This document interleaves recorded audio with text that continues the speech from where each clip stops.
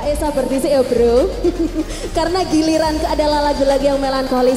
Coba saya persembahkan spesial buat semuanya bareng Merista. Yang pertama sudah yang terbaru. Kali ini juga terbaru lagi.